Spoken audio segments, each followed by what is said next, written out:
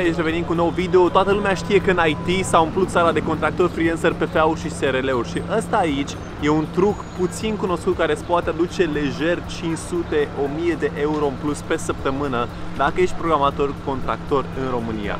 Pe scurt, vă dau de la început, ideea e să vin serviciile pe zi, nu per oră și urmează să explic la ce mă refer mai specific. Disclaimer aici, treaba asta se aplică în special pentru programatori experimentați care lucrează contractori în România. Vă spun asta la început pentru că știu că timpul fiecăruia e prețios și vă las pe voi să decideți dacă vreți să urmăriți mai departe sau nu videoul. Posibil ca ideea de aici să se aplice și în altă parte, într-o formă sau alta. Pot recomanda să vă uitați, să înțelegeți mecanismul de spate și cine știe cum o să vă ajute pe viitor. Dacă mă urmăriți, știți că nu sunt cel mai mare fan al intermediarilor. Nu pentru că ar fi răi, munca pe care eu o fac e legală, etica e pe alocuri cu ceva exemple chestionabilă. De ce nu sunt fan? E pentru că cred foarte mult că developerii din România trebuie să fie plătiți la valoarea lor din piața globală mai degrabă decât valoarea geografică. Și mai ales pentru că modelul ăsta de intermediere nu e aliniat cu încurajarea programatorilor să facă mai mulți bani, dar din contră e aliniat cu erodarea încrederii programatorilor astfel încât să-i mulțumească cu banii pe care au acum ca să maximizeze profiturile. Dar divaghez puțin de la subiect. Așadar, IT-ul din România e făcut în mare parte din intermediari. Intermediarii sunt de două tipuri, fie în format de outsourcing, fie în format de plasatori, cum îmi place să-i numesc. În video de astăzi o să ne axăm pe plasatori. Apropo, dacă vreți să înțelegeți care e faza cu outsourcing-ul și cu toți intermediarii ăștia, vă recomand documentarul Mizeria din industria IT, care e practic ABC-ul asupra ceea ce înseamnă industria de IT în România. Acum, despre acești plasatori. Sunt pur și simplu niște intermediari sau recruteri care oferă joburi. Oferă undeva rate-uri la 45-50 de euro, e plin de ei în România, pe LinkedIn găsești și la 30 de euro pe oră. Adesea îi spun că oferă joburi de freelancing, dar să nu intrăm acolo, vă rog frumos. Postarea de astăzi, ca să vă ajut să înțelegeți trucul ăsta, o să vă dau trei lucruri. Modul lor de operare, modul în care monetizează banii, cum să negociați cu ei. Deși nu îi recomand, poate ajungeți într-o discuție cu ei și ce urmează aici o să fie util. Punctul 1. Modul lor de operare. Funcționează în felul următor. Clientul are nevoie de programator. Ia legătura cu un plasator. Plasatorul vorbește mai departe cu diversi developeri pe care îi abordează pe LinkedIn sau iar în rețeaua proprie. Apoi plasatorul mediază discuția și foarte important de menționat aici, mediază astfel încât developerul să nu discute nimic despre bani cu clientul final. Dacă ambele părți se agrează, atunci contractul se face prin plasator, developerul începe și muncește, plasatorul începe și colectează bani. Trecem la partea numărul 2, cum face bani plasatorul. Sunt două variante. Varianta numărul 1, adaugă un comision peste ora facturată de programator. Să luăm un exemplu simplu, dacă programatorul cere 50 de euro pe oră, plasatorul să ceară mai departe 65 de euro pe oră. Și atunci profitul pe care îl are pentru fiecare oră facturată de programator o să fie 15 euro pe oră. Varianta numărul 2, adaugă un comision per zi, una din cele mai întâlnite variante. Ce se întâmplă aici e că plasatorul vinde pe zi programatorul clientului și clientul plătește apoi pentru ziua de programator, din care plasatorul programatorul își oprește un comision. Super simplu. Exemplu aici, dacă programatorul cere 400 de euro, plasatorul o să ceară mai departe 500 de euro și astfel pentru fiecare zi pentru care programatorul muncește pentru client, o să primească un profit de 100 de euro fără să muncească. Modelul e foarte simplist, nimic revoluționar până la aici, mai sunt și alte moduri de colaborări pe care plasatorii și le au, dar nu are rost să ne complicăm cu detaliile.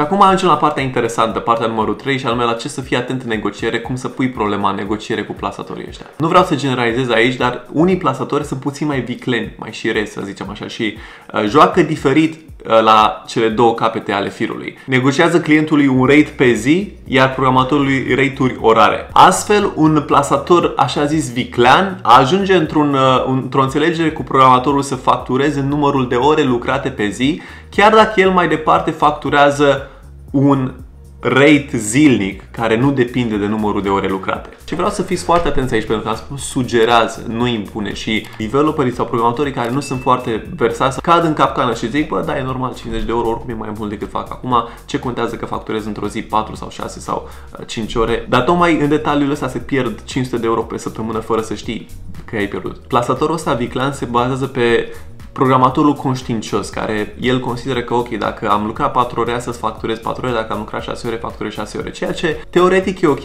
dar în industria asta, în modul în care e convențional structurată industria, nu e în regulă.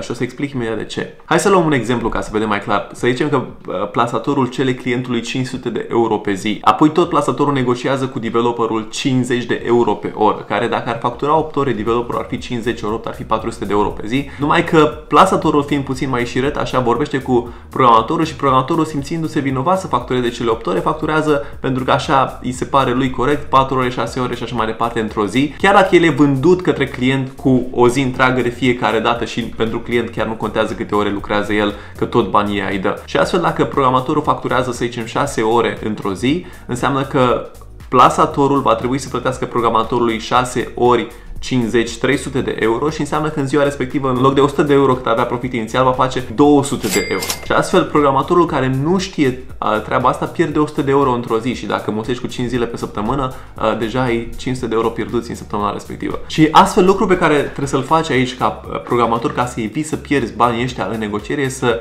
ceri în discuțiile inițiale pe care le ai să fii plătit pe zi mai degrabă decât pe rată orară. Și știu că sunt unii aici care zice că bă, da, dar e totuși corect ca tu să facturezi 8 ore într-o zi dacă lucrezi 4 ore.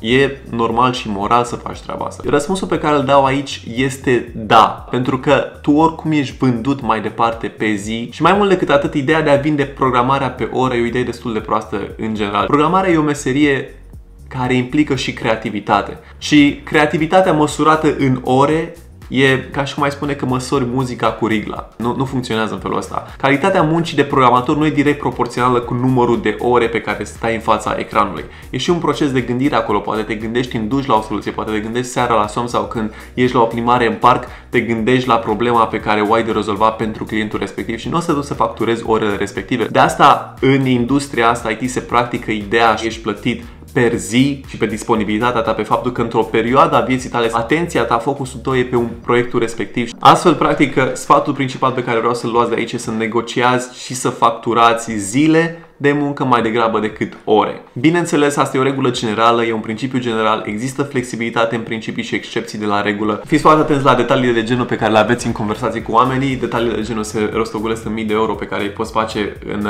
în potențial. Apropo, videoul de aici a venit ca o inspirație dintr-o postare pe care am făcut-o pe grupul nostru exclusiv de Facebook. A prins foarte bine acolo și m-am gândit să-l fac și în video. În grupul ăsta suntem zilnic activi, facem live-uri săptămânale și vorbim exact de detalii de genul în care uh, disecăm industria asta IT la bani mărunți și ajutăm programatorii să, să vadă lucrurile într-o direcție diferită. Vă las link în comentarii dacă vreți să vedeți comunitatea. Accesul este gratuit, dar limitat doar la programatorii experimentați. Încă un lucru pe care vreau să-l menționez aici în final, uh, legat de plasator, manager sau recruteri, să fiți conștienți de raportul de forțe. Recruterii interacționează cu mii de candidați, mii de programatori și atunci au avantajul capacității de a vedea tipare în uh, discuția pe care o ai cu tine și uh, oricât de special ai crede că ești, intri într-un tipar. Deja a văzut tiparul respectiv și știe să-ți vândă pe baza credințelor tale astfel încât să nici nu știi că ai lăsat lucruri pe masă și ți se pare că ai făcut o afacere bună când de fapt poate ai pierdut lucruri acolo. Și de asta ajută să te înconjori și să fii expus la conversații și să schimbi păreri poate cu alți oameni sau să fii în mediile online de un acces pe calitate unde se împărtășesc opinii uh, veridice pe tema asta. Pentru că diavolul e în detalii, doar exemplul ăsta a fost un exemplu de optimizare, sunt multe, multe altele. Sigur, ideal e să ajungi la rate-uri mult mai mari de atât, ăsta e un rate de nivel de România dat de plasatori, dar asta e un subiect pentru un alt video. Eu sunt Cristi, salutare!